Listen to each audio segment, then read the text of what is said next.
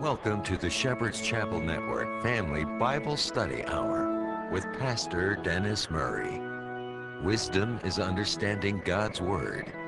Pastor Murray's unique teaching approach brings God's Word alive with meaning as he takes you on a chapter by chapter, verse by verse study of God's letter to you, the Bible. And now, here is Pastor Dennis Murray. Good day to you. God bless you. Welcome to Shepherd's Chapel. Welcome to this family Bible study hour. Ready to get back into our Father's Word here at the chapel. We're going to pick it up with the exciting book of 1 Kings, chapter 11, verse 26 today. We invite you to get your Bible and join us. We're going to have an old fashioned Bible study here at the chapel. In our last lecture, we saw the decline of Solomon. And what happened? Well, his love of the ladies uh, caused him to, uh, well, he had like 700 wives, 300 concubines, and a lot of them were foreign, uh, strangers, if you will, in the land, foreigners, in other words. And they brought their gods with them, and Solomon allowed them to set up altars even on the very Temple Mount. And, and he was slipping out the back gate of the city going up and worshiping their gods as well. God won't tolerate that. You know, he'll tolerate a lot of things from his people, but uh, Solomon forfeited any grace that he was entitled to from our Heavenly Father uh, because he worshiped the, uh, the other God, small g. And, and, and what happened as a result? Well, God himself stirred up Hadad uh, from uh, former royal seed of Syria, of Edom, I should say, and he that was from the south. And then he stirred up Rezon from the north, and was not really a powerful enough army to defeat Israel, but there were uh, a thorn in Solomon's side. And God's not finished stirring up uh, people against Israel, adversaries, as we learned in our last lecture. Uh, he's about to stir up an adversary from within, that being Jeroboam.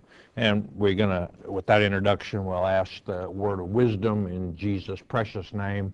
Father, we ask you to open eyes, open ears this day, picking it up with uh, 1 Kings chapter 11, verse 26, and it reads, and Jeroboam, the son of Nebat, an Ephrathite, this means he was of the tribe of Ephraim, of Zereda, Solomon's servant, whose mother's name was Zeruah, a widow woman, even he lifted up his hand against the king. He led a rebellion against Solomon. And how would a common man of Ephraim uh, come to a position that he could uh, could even consider rebelling against the king of the most powerful nation on earth at the time?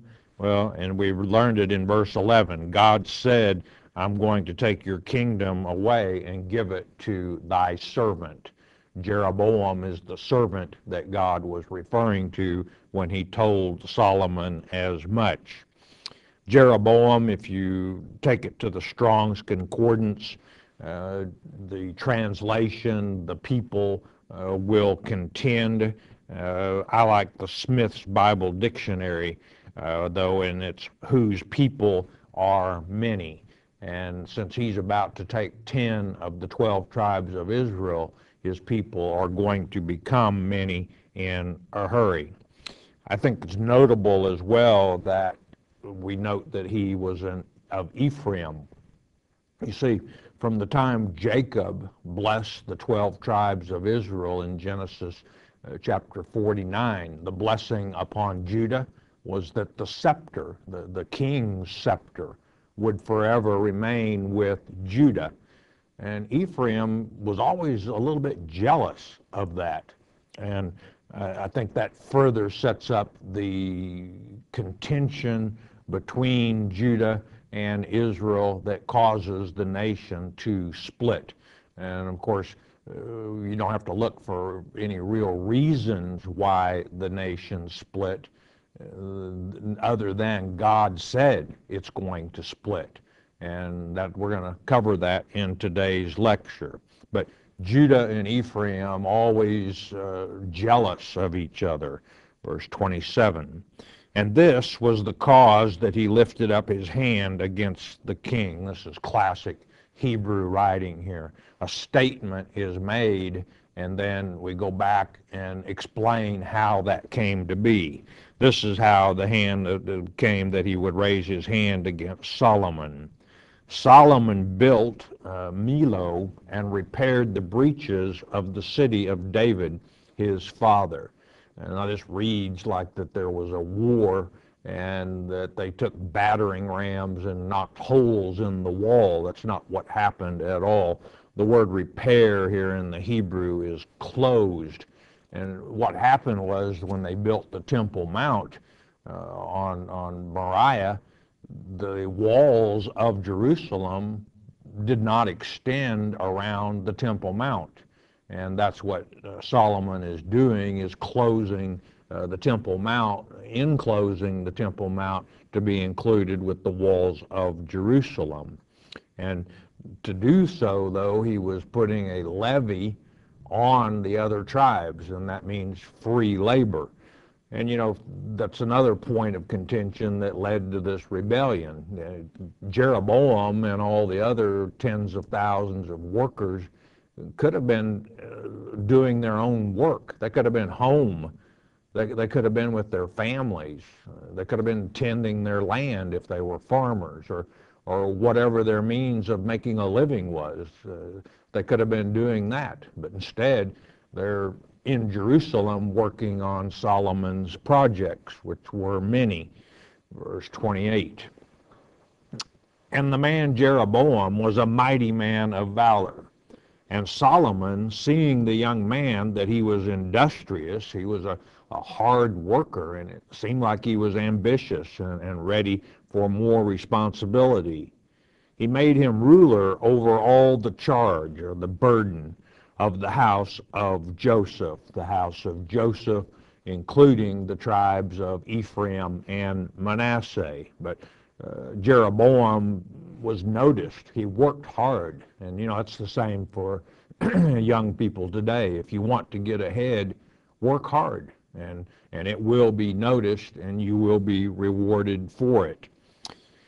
Verse 29 And it came to pass at that time when Jeroboam went out of Jerusalem that the prophet Ahijah, the Shilonite, this meaning that he was from Shiloh, and Shiloh, remind you, the original location of the uh, Mosaic tabernacle, found him in the way, and he had clad himself with a new garment. Ahijah had a new garment on and they two were alone in the field. It was Ahijah's garment. The garment we're going to learn is symbolic of the nation of Israel, uh, and it's God's to take or uh, give. Verse 30. And Ahijah caught the new garment that was on him and rent it in 12 pieces. This, uh, these 12 pieces, each single piece representing a tribe of the 12 tribes of Israel symbolically. And he said to Jeroboam, Take the ten pieces, for thus saith the Lord, the God of Israel Behold, I, Yahweh speaking, will rend the kingdom out of the hand of Solomon, and will give ten tribes to thee. The one stick of Israel uh, about to become two sticks. And what we have here is the split of Judah. Uh, Benjamin would stay with Judah, and then you have the ten tribes to the north. And the split remains into effect unto this very day. The stick will be rejoined in the future, as it's written in Ezekiel uh, chapter 37. This wouldn't actually come to pass, the split of the nation, though, as long as Solomon remained alive. But after Solomon died, that's when the split occurred. We'll be getting to it very shortly. 32.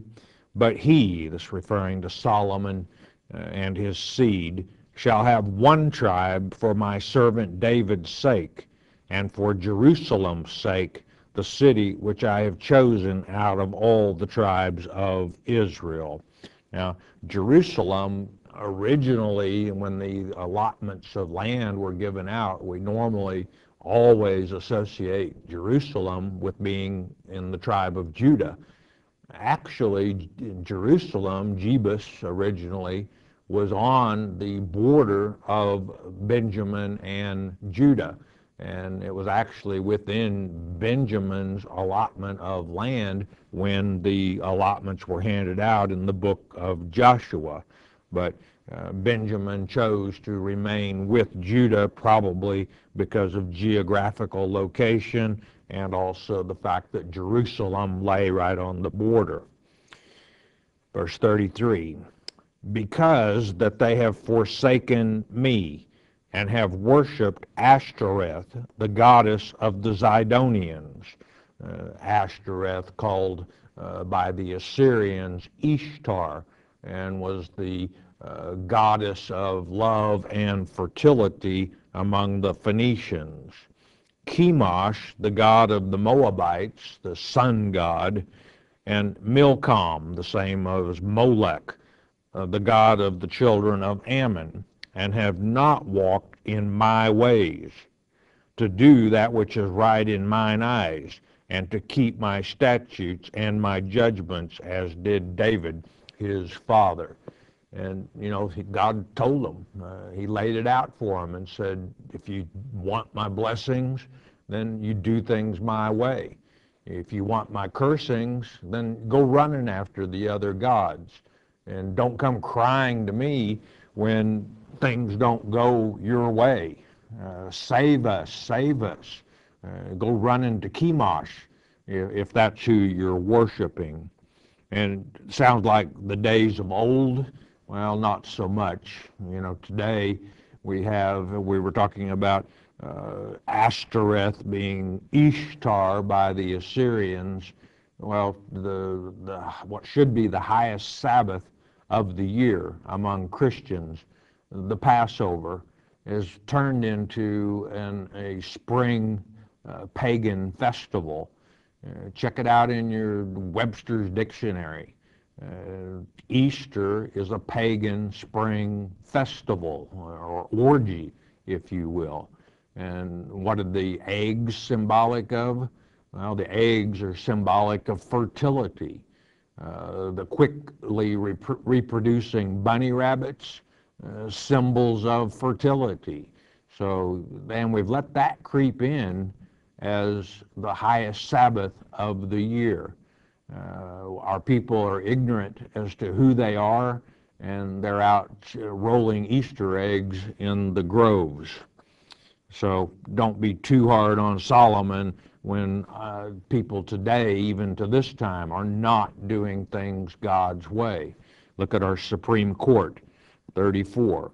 Howbeit, I will not take the whole kingdom out of his hand, referring to Solomon, but I will make him prince. This word in the Hebrew is Nasir, and it means king, all the days of his life, for David my servant's sake, whom I chose because he kept my commandments and my statutes. David, uh, not perfect by any means, but when it came to fidelity and faithfulness to Yahweh, he was immovable. Uh, Solomon, not so much. He lost focus, Solomon did, on what was important. Uh, and of course, what is important, what's important is God's word and doing things his way. That's the way you receive blessings. Solomon blew it, verse 35. But I will take the kingdom out of his son's hand, this is Rehoboam, and will give it unto thee, referring to Jeroboam, even ten tribes. Verse 36 And his son, this is Rehoboam, will I give one tribe, that David my servant may have a light. In 2 Samuel 21 17, uh, David's reign is referred to there as the light of Israel.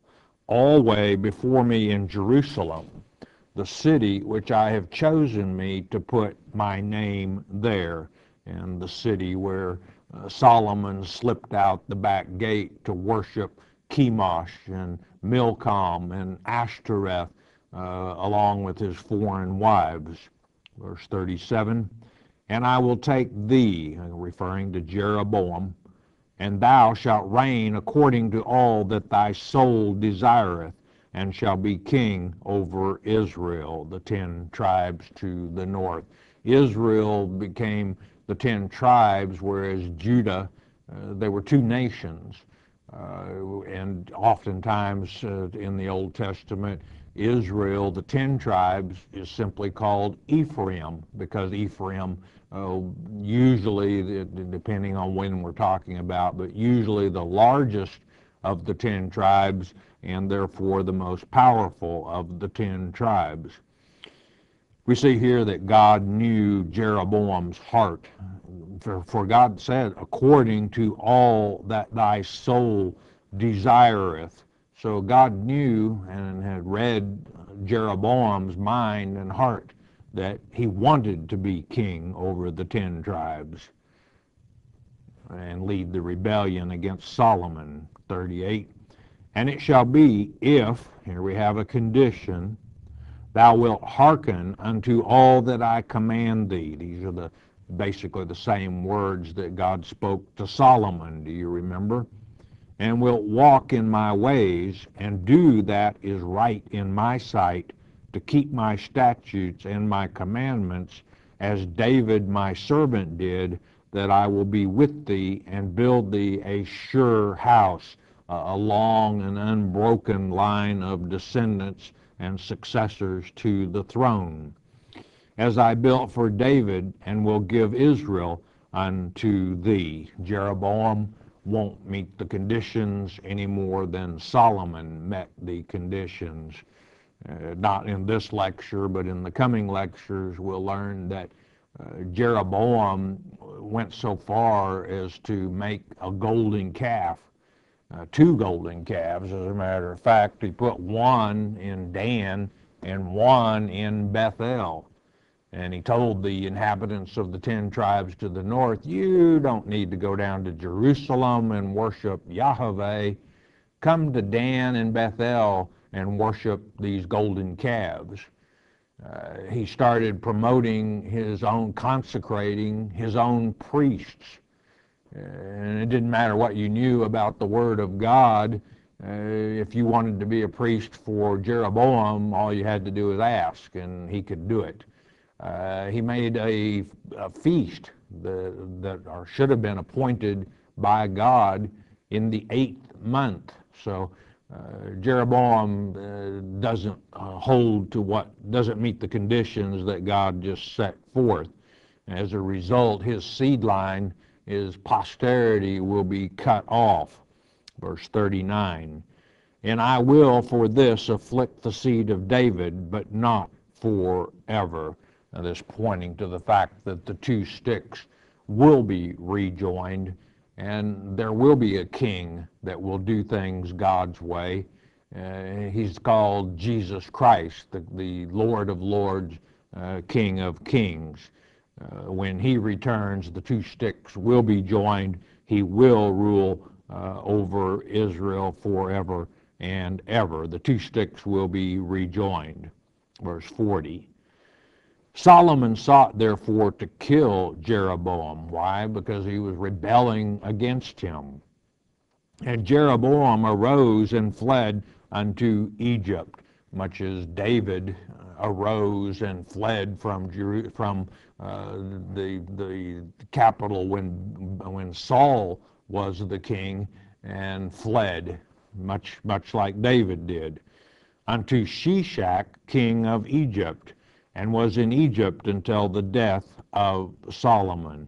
And Jeroboam probably was smart to get out of Jerusalem and out of Israel because you know, Solomon being the king, uh, if you tried to take the throne, that was called treason. Uh, that could call, cause heads to roll in a hurry. Verse 41. And the rest of the acts of Solomon and all that he did in his wisdom, are they not written in the book of the acts of Solomon? Now let's see, I know there's a book of Acts, and I know there's a song of Solomon. What's this book of the Acts of Solomon? Well, if you have a companion Bible, make a note of Appendix 47. You see there are different books referred to. The books uh, of e- the book of Enoch comes to mind, and Bullinger points out in Appendix 47 that the book of the Acts of Solomon are what we're reading right here, the book of Kings, verse 42.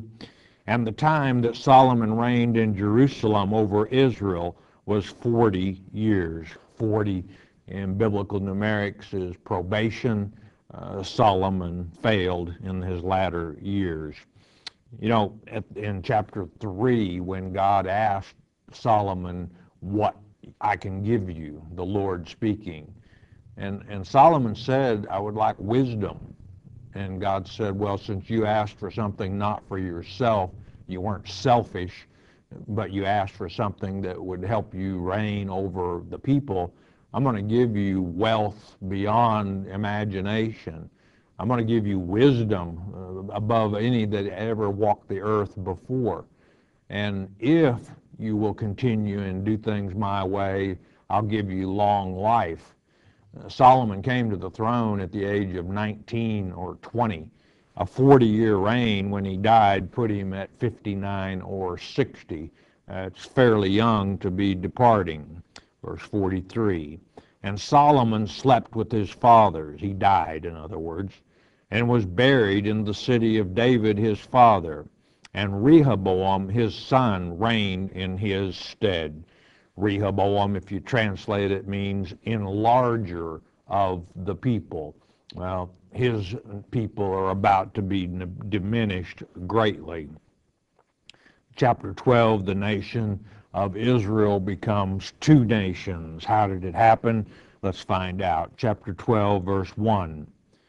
And Rehoboam went to Shechem, and all Israel were come to Shechem to make him king.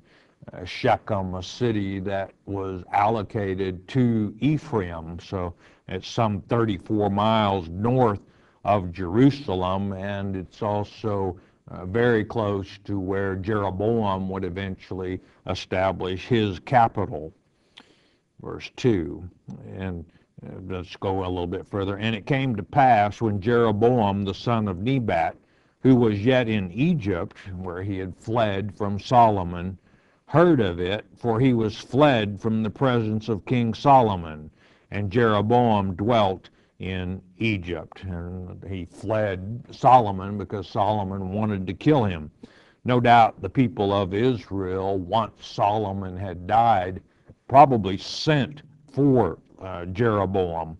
And this would, he would uh, they would no doubt put him in charge of laying down the demands of the people before they would worship or before they would serve uh, Rehoboam as their king and accept him as their king.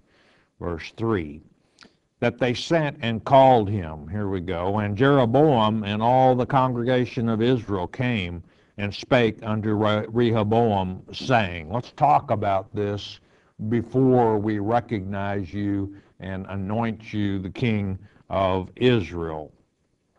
Verse 4 the people of Israel and Jeroboam speaking, Thy father, this being Solomon, made our yoke grievous. He, he placed a heavy yoke upon us.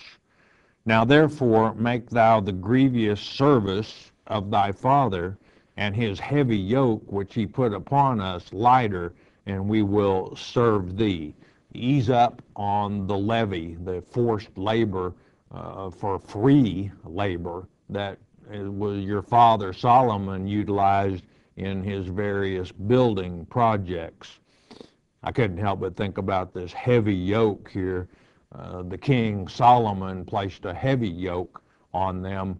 Uh, there's a king uh, that came after Solomon, uh, yet to be anointed on the throne, but he will be King of Lord of Lords and King of Kings.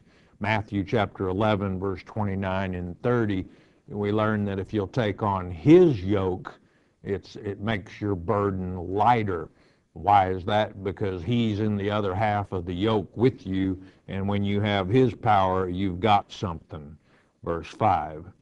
And he said unto them, Depart yet for three days. This is Rehoboam to the Israel. Then come again to me, and the people departed. Now, let me think about this and and consult some folks and and see uh, what I come up with.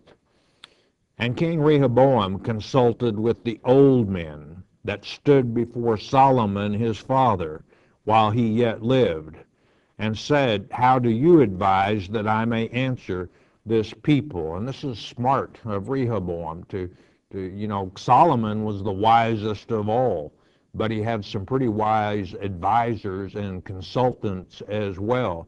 Many of them had served Solomon's father, David, uh, and many of them were descendants of those who served and consulted and counseled David.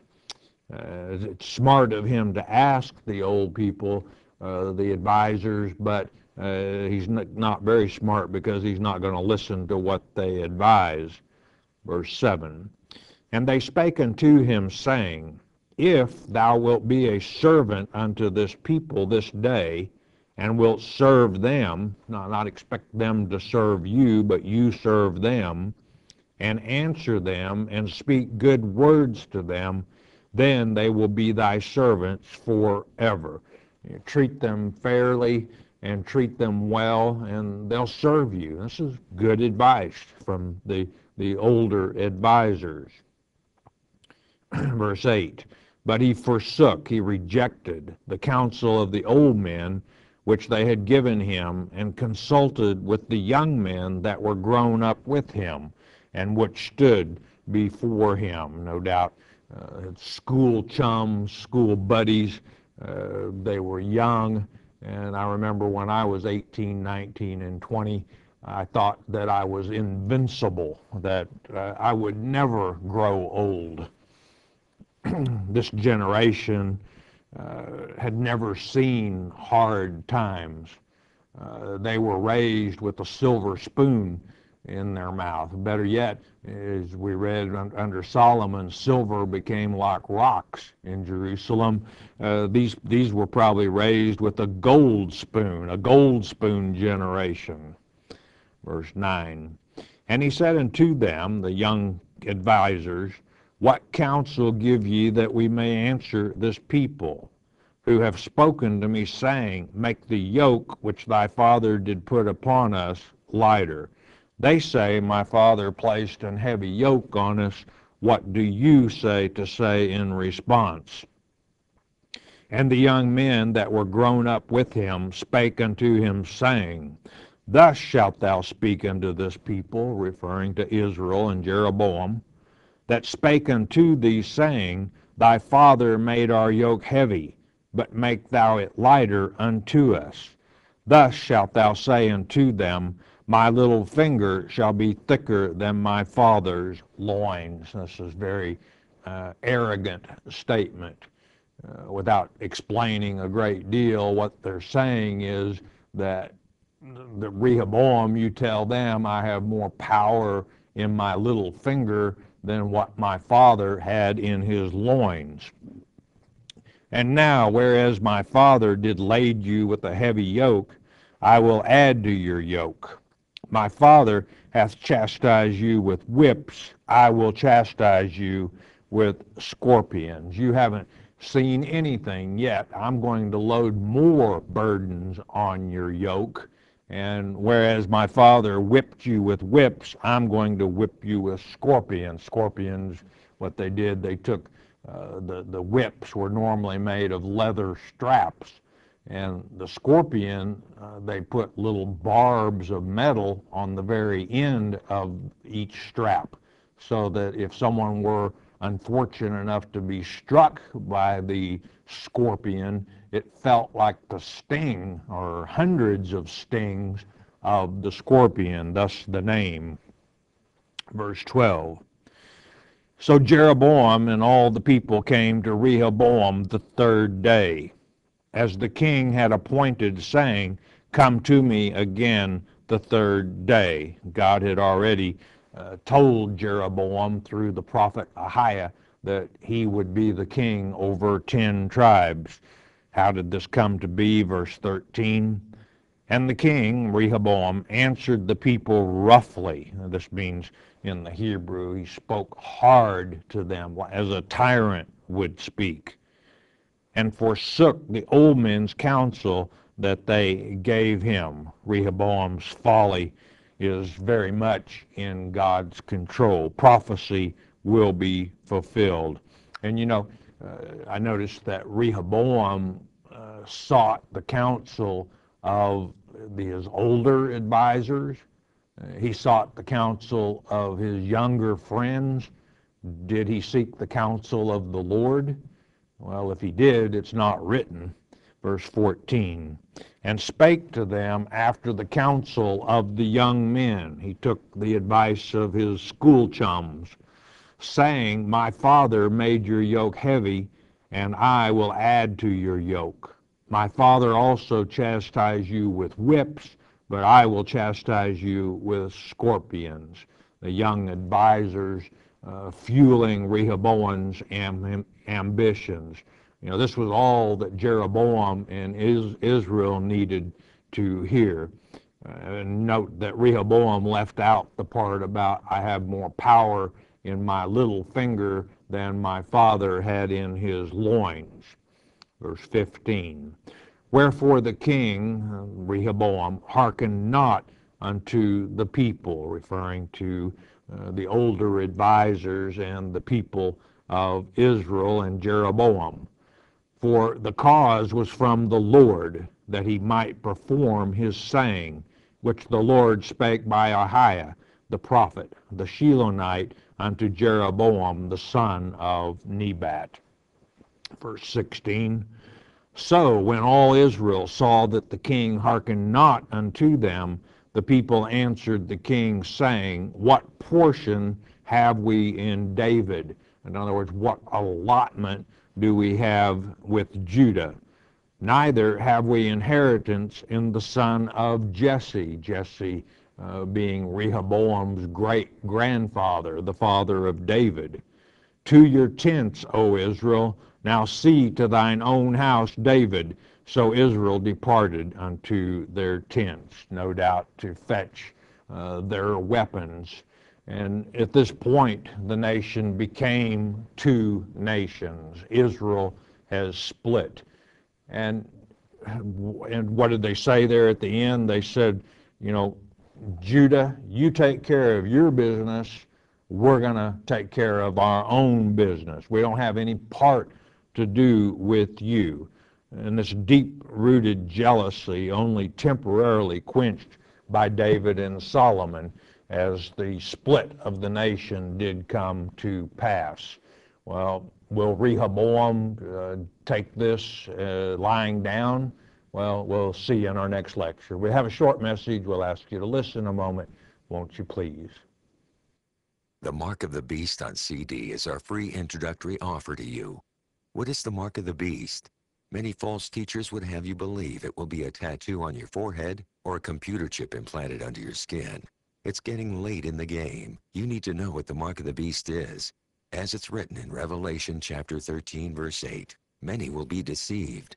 Christ said in Mark 13:23, Behold, I have foretold you all things.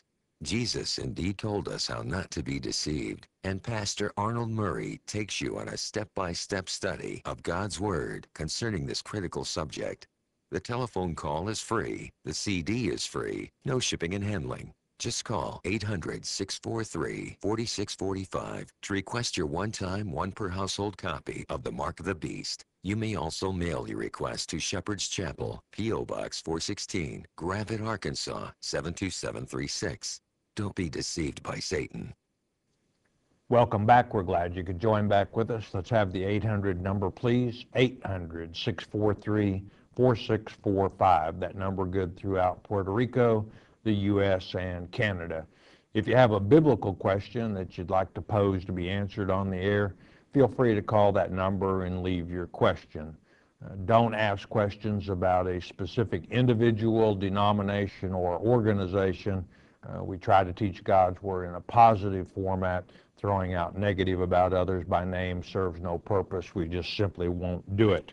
If you're studying via the internet or shortwave radio uh, somewhere in the world uh, that's not able to use that 800 number, your announcer at the end of the hour will give you our mailing address.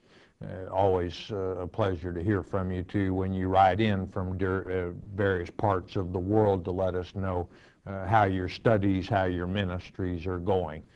You've got a prayer request, we can do away with the telephone number. You don't need a telephone. You don't need a mailing address. Your Heavenly Father is there for you 24-7. I encourage you to talk to him, you know, and you should be able to talk to your father just like he's your flesh father. That's how close of a relationship you should have. And let him know that you love him. I, I think don't think you have very much competition these days. And when you let him know that you love him and you serve him and try the best you can to do things his way, that's when the blessings really start to flow in your life. We do have these prayer requests, Father. We come united as one in the name of your Son, Jesus Christ. We ask you to look upon these, Father. You know their needs, illnesses in families, Father, uh, addiction to drugs. You know, Father, if it is your will, a special blessing on each of these. We also lift up our military troops who are in harm's way around the world, Father. We ask you to watch over, guide, direct, touch, heal. In Jesus' precious name, amen, and thank you, Father. All right, let's get to some questions and see what's on the mind of folks. Pauline from Missouri is first up today. Is it wrong to go to uh, a casino? Well, you know, many people uh, find entertainment uh, in, in casinos. They find fun in casinos.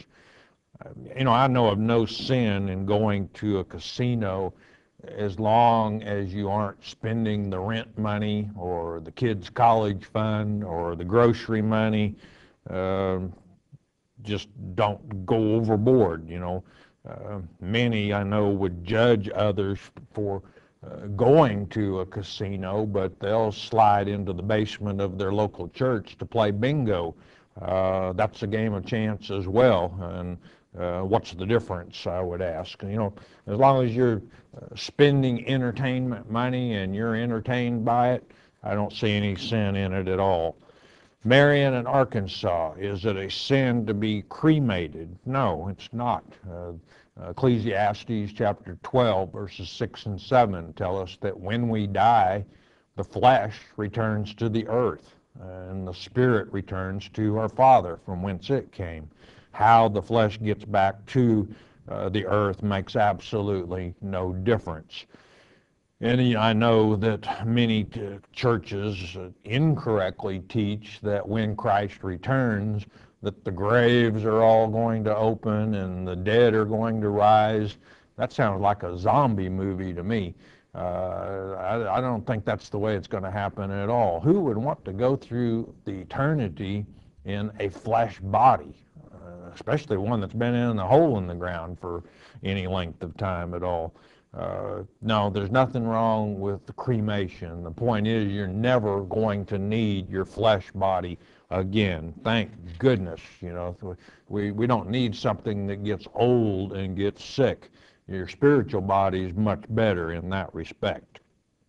Susan in Georgia what is the difference between paradise and heaven? There is no difference between paradise and heaven. Uh, in Luke chapter 23, verse 43, uh, as Jesus was being crucified on the cross, uh, there was a criminal, a malefactor next to him. And he believed on Christ in that very hour. And Jesus said, Today shalt thou be with me in paradise. Uh, Second Corinthians chapter 12, verse 4. Uh, chapter 12 of Second Corinthians is where Paul was caught up to the third heaven. And he calls it, he says, Paul uh, says, I was called up, caught up to paradise. And that's the same thing as heaven. Now understand, though, that there are two sides to the gulf in, in heaven. Uh, there's a side where righteous people go, uh, there's a side where people like the rich man of Leviticus, excuse me, of uh, Luke chapter 16 go. and they're miserable on the wrong side. You don't want to end up there. Lolita in North Carolina. What is the difference between a fallen angel and a demonic spirit? Well, a, a fallen angel in the Hebrew language is Nephilim. Uh, and it's from the prime Hebrew word napha, which means to fall. And the basic difference between a fallen angel and a demonic spirit, uh, both serve Satan, obviously. That's something they have in common. The difference is that a fallen angel uh, refused to be born of woman and came to earth, as it's written in Genesis chapter 6. Uh, also in the New Testament, Jude uh, chapter 1, verse 6, they left their habitation. Uh, and for what they did, they're held in chains of darkness unto judgment, as it's written in uh, uh, Jude chapter 1, verse 6. Skip in Florida, are there animals in heaven, and do they change into spiritual bodies?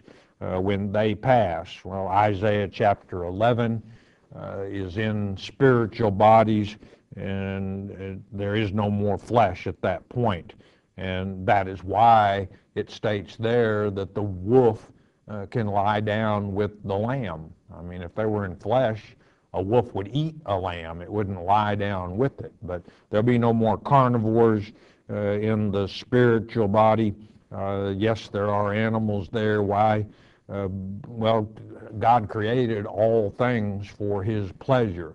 Revelation chapter 4, verse 11. And he created animals, therefore they pleasure him. And I'm glad they pleasure him because they pleasure me as well. I love my dogs. Uh, Carolyn in North Carolina, is it a sin to smoke? Well, like any violation of the health laws, smoking is a sin against your flesh. Not a sin against your soul, but it is a sin against your flesh. Uh, it's not healthy as violating any of the other health laws. If you eat swine, swine can, pork can make you sick. Um, if you smoke, that's unhealthy and that can make you sick. I'll tell you what, if anyone, you know, I, have had a couple bouts with cancer over the last six years, and if anyone has ever been a smoker and tried to quit and just says, I can't quit, what I'd recommend they do is go down to an oncology, that's a cancer doctor uh, clinic, and just sit in the lobby for a couple of hours and watch the people who come and go, uh, people who are uh, there for radiation therapy and uh, people who are there for chemotherapy uh, it's not a pretty sight. And uh, if you do that and continue smoking, well, uh, you know, you must enjoy smoking. Kim in North Carolina, where does it say in the Bible that we all have free will? It doesn't say in the Bible that we all have free will. Uh, there are certain of God's children who stood uh, with him in a very special way against Satan and the third of God's children that followed Satan in the first earth and heaven age. They're called God's election, and they're, they're predestined. They don't have free will. Ephesians chapter 1, verses 4 and 5 uh, document. Wallace in South Carolina. If you have disability income, are you obligated to pay a tithe on it? At Shepherd's Chapel, we teach no. Uh, pay your bills, buy your groceries, uh, pay for your prescriptions.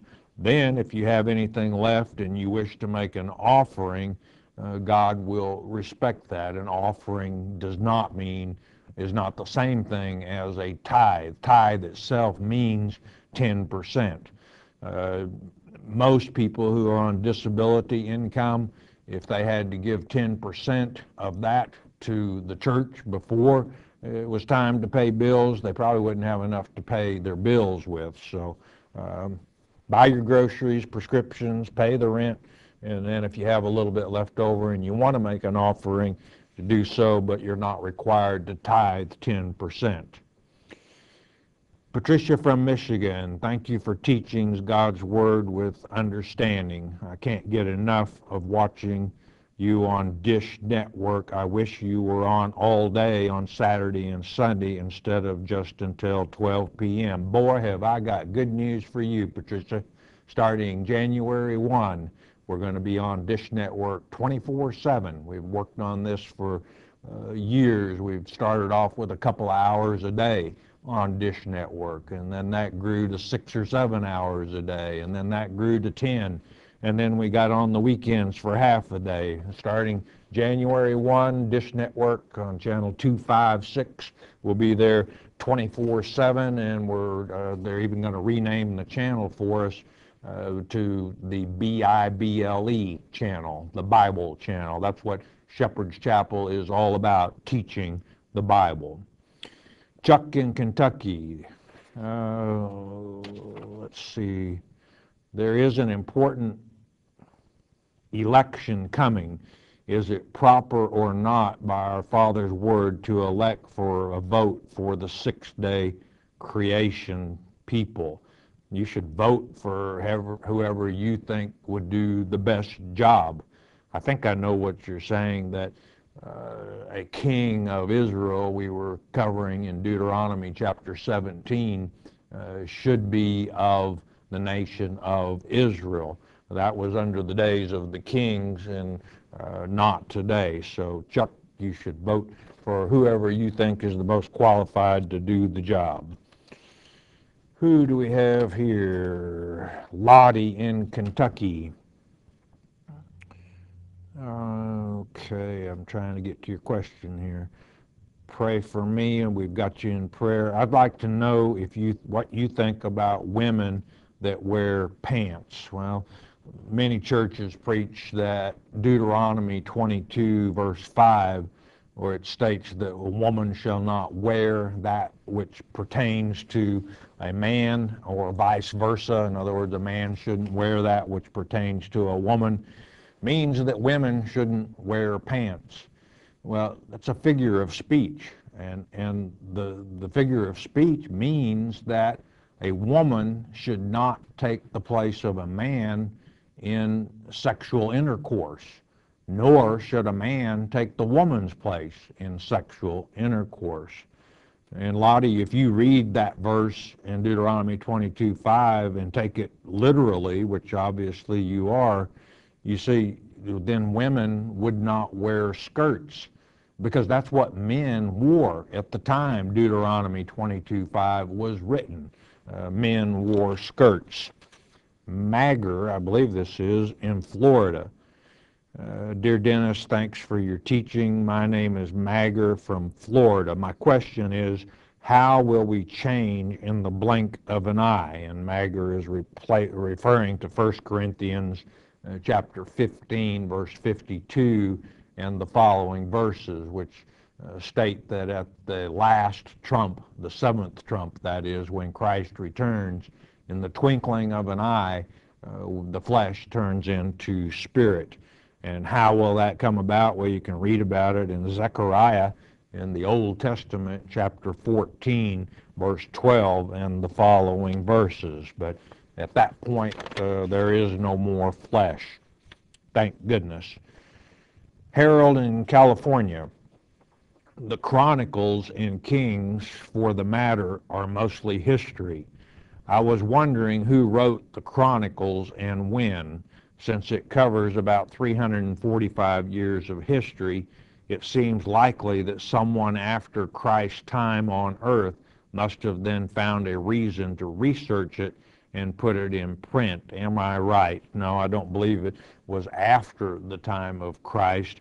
You know, the Hebrew canon uh, places the Chronicles at the very end of the Old Testament, not uh, just following Samuel and Kings as it appears in most King in the King James Version Bible.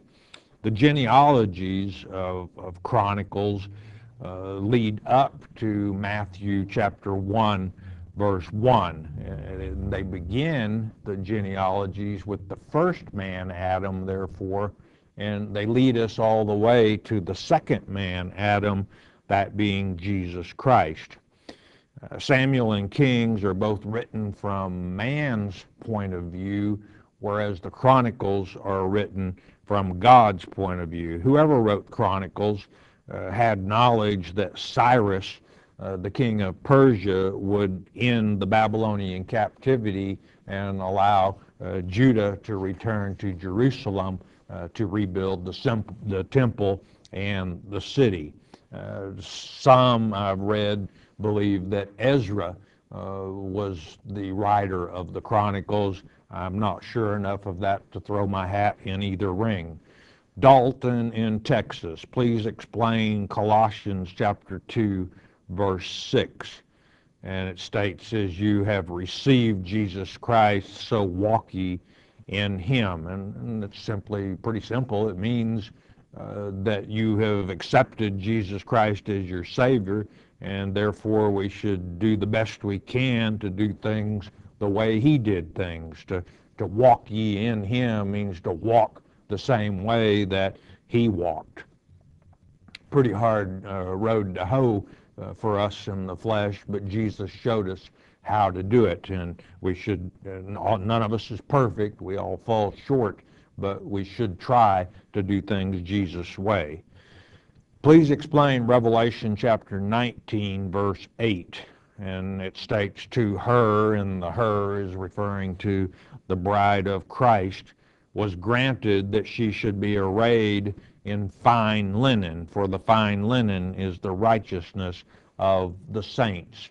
And that follows with what we learn in Revelation chapter 14, verse 13, that your works are all that you can take with you, uh, either good or bad. And there in Revelation 19, uh, we learn that our robe in, in, in heaven will be made up of our righteous acts. Some of us are going to have a nice long, long white robe. Uh, some of us are going to be running around in itty bitty bitty bitsy bikini. Uh, but you know that's uh, what you can, uh, what you do here on earth is is your works, and that's what you're going to take to heaven. That's what your your robe is going to be made out of. Florida and Georgia.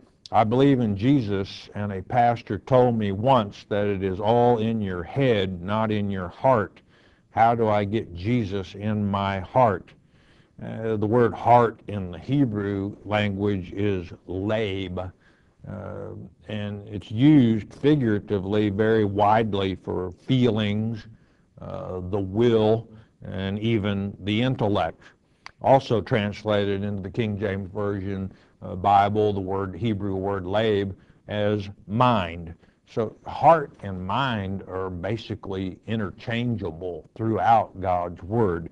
And to say God is in your heart is saying that He's in your mind. Uh, and if you've accepted Him in, He's hopefully in all of you and in you in Him. Julia from Pennsylvania. Um, I am distressed. I'm wondering about the idolatry. I fell away from God in 2006 and chose to practice a pagan religion. It was one of the darkest times in my life, and I came back to the Lord a couple years later. Well, praise God. I realize this is a serious offense in God's eyes but I'm hoping that I am forgiven. Is repenting enough? Yes, repenting, which means to have a true change of heart, uh, is, and then you ask for forgiveness. The slate, the slate's wiped clean, uh, Julia, and and you know for you to continue beating yourself up is not good. Uh, in a way, it's kind of doubting Christ that He can forgive. So uh, when you have repented and, and I believe you that you've come back to the Lord, uh, the slate's clean and you need to get on uh, with serving the Lord. Uh, to, to keep bringing it up again, Lord, have I done enough? Lord, have I done enough? Uh, to receive your forgiveness for that is kind of doubting that He forgives. Don't do that. Pat in Nebraska, why is there only 144,000 going to heaven? Well, you're misunderstanding God's word, Pat. uh, that isn't true. The 144,000, I assume you're referring to Revelation chapter 7, verse 4 and the following verses, are God's election. That, that's how many there are, 12,000 from each of the 12 tribes of Israel is 144,000. Uh, what number is it going to be? Well, it's whatever number God decides. Is that exact numbers is my point in Revelation 7? Uh, I don't know. Uh, whatever number God says, that's just right. And, you know, those, there are millions and millions who have already died believing in Christ. Uh, they're, they're good to go. They're, they're in the eternity. They will be in the eternity. Uh, we're still working uh, here to pull as many out of the fire as we can who are still in the flesh uh, through this program.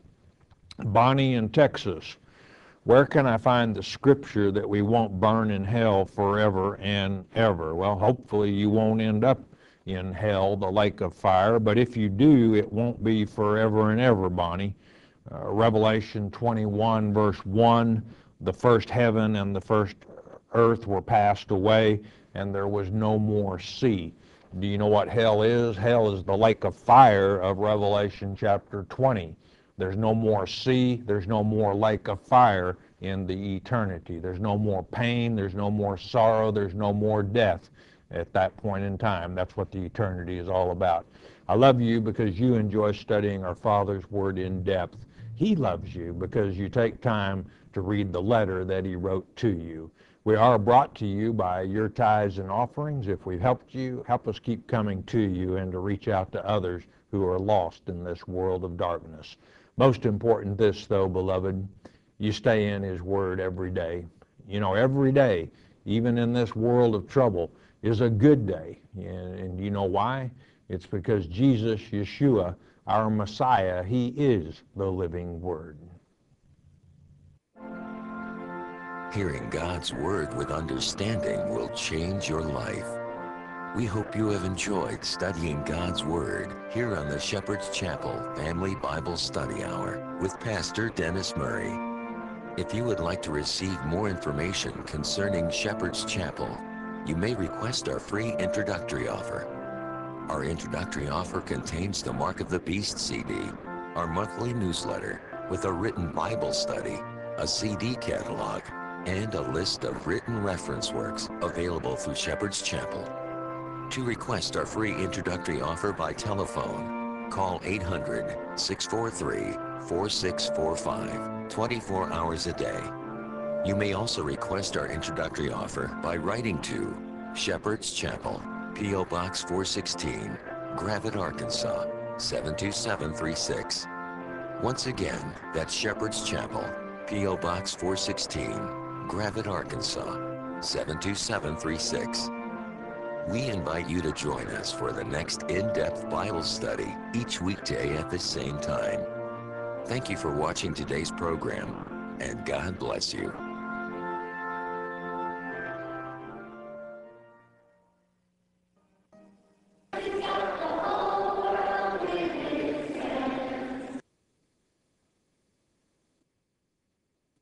Mark. Mark, one of the apostles, Mark having been a very young lad at the time Christ walked this earth, was always in the shadows, observing and listening with the intensity that young ears can, picking up every word. And this great gospel moves very fast. But what a, what a interesting and certainly impressive gospel it is for Mark from those that young mind reiterates to you in chapter 13 how some are going to be delivered up, exactly what they are supposed to do, and even in that 13th chapter giving you the seven events that fulfill this or make up the seven seals and the seven trumpets, and telling you how you are to react to them. A fast-moving gospel, one that I know you'll enjoy.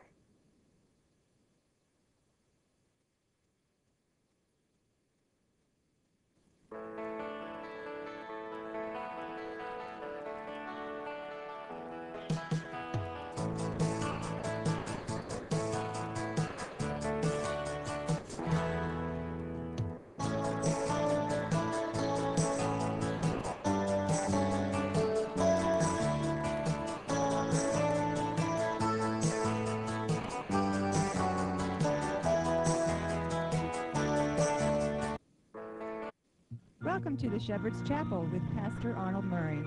Open your Bible and let's go to class with Dr. Murray for a better understanding of our Father's Word.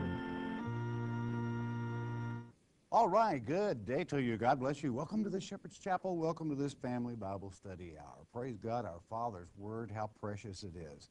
While we're doing some of these special studies, I, I want to do a couple of lectures on how to test your teacher.